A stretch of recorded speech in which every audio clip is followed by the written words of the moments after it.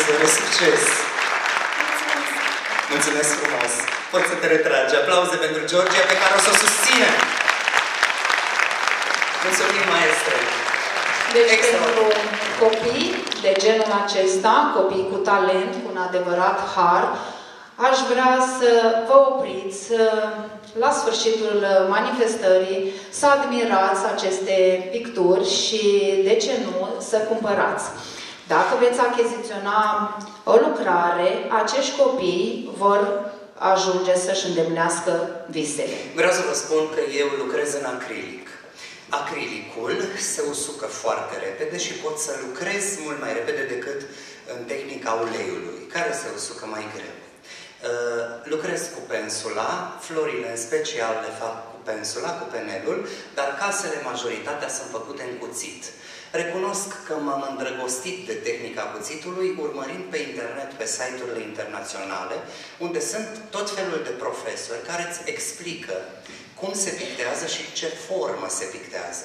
E foarte greu să găsești nuanța preferată, dar de fiecare dată, uh, cum să spun, de exemplu, hai să iau un tablou la întâmplare, această operă poartă titlul La Taifas.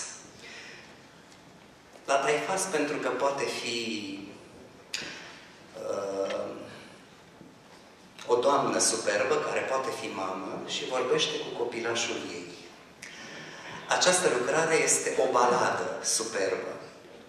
O baladă dedicată limbii române. Poftim. Să mă duc puțin la case, una dintre favoritele mele. Noi suntem români. M-am inspirat din Muzeul Satului. Am stat zile întregi acolo. Am făcut fotografii la toate căsuțele acelea superbă. Chiar vă invit să mergeți în Muzeul Satului. Vă delectați și vă simțiți adevărați români. Iubesc anotimpul iarna. Vedeți, casele mele sunt uh, uh, pictate sub acest anotimp. Nu pentru că iarna eu împodobesc bradul, ci pentru că iarna am cele mai frumoase amintiri. Iarna l-așteptam pe moș Gerilă. Iarna primeam cele două portocale de la mama, pe care nu le mâncam în timpul anului. Iarna mâncam cavit, pe care numai eu știu de unde l achiziționam. Iarna este anotimpul meu de suflet. De aceea, probabil, cele mai frumoase uh, picturi ale mele, nu știu, reprezintă anotimpul iarna.